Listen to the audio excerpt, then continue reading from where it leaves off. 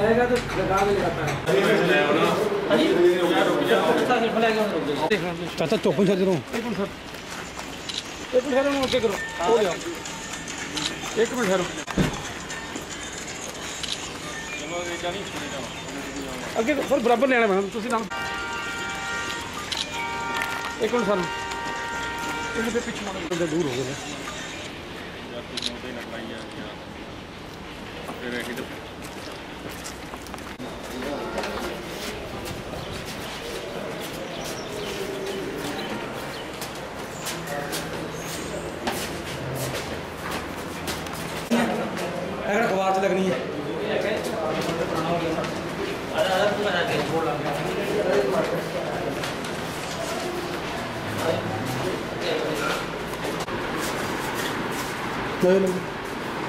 Sir पीछे खड़ा कर लियो अपने।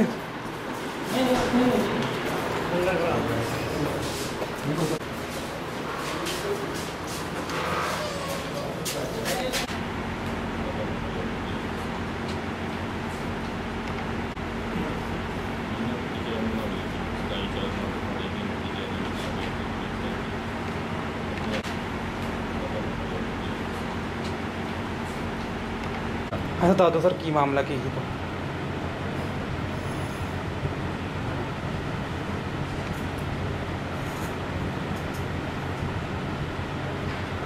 ਇਹ ਹਰਜਿੰਦਰ ਸਿੰਘ ਕੰਪਲੇਨੈਂਟ ਹੈ ਗੜੇ ਪਿੰਡ ਦਾ ਫਲੋਰ ਲਾਗੇ ਉਹਦੀ ਕੰਬਾਈਨ ਜਿਹੜੀ ਆ, ਉਹ ਕਟਾਈ ਕਰ ਰਹੀ ਸੀ, ਡਰਾਈਵਰ ਕੱਟ ਰਿਹਾ ਸੀ, ਕੰਬਾਈਨ ਕਿਸੇ ਦੇ ਖੇਤ ਦੇ ਵਿੱਚ। ਉਹਦੇ ਨਾਲ ਕੰਬਾਈਨ ਟਕਰਾਉਣ ਨਾਲ ਖੰਭਾ ਜਿਹੜਾ ਹੈ ਉਹ ਬਿਜਲੀ ਦਾ ਟੁੱਟ ਗਿਆ। ਉਹਦੇ ਵਿੱਚ ਜਿਹੜਾ ਜੇਈ ਨੇ ਮੌਕੇ ਤੇ ਆ ਕੇ 90000 ਦਾ ਐਸਟੀਮੇਟ ਬਣਾਇਆ ਤੇ ਉਹਦੇ ਨਾਲ ਐਡਜਸਟਮੈਂਟ ਕਰਨ ਦੇ ਸਬੰਧ ਦੇ ਵਿੱਚ ਇਹਨਾਂ ਨੇ ਜਿਹੜੇ ਆ ਫਿਰ ਮੰਗ ਕੀਤੀ 25000 ਰੁਪਏ ਦੀ। ਅੱਜ ਜਿਹੜਾ ਅਸੀਂ ਐਸਡੀਓ ਦੀ ਨਾਲ ਮੀਟਿੰਗ ਸੀ ਐਸਡੀਓ ਨੇ ਅਹ, ਰਣਧੀਰ ਸਿੰਘ ਤੇ ਜੇਈ ਜਗਤਾਰ ਸਿੰਘ ਜਿਹੜਾ ਹੈਗਾ ਉਹਨਾਂ ਨੂੰ 25000 ਰੁਪਏ ਰਿਸ਼ਵਤ ਲੈਂਦਿਆਂ ਰੰਗੇ 'ਤੇ ਜਿਹੜਾ ਇਹ ਗ੍ਰਿਫਤਾਰ ਕੀਤਾ।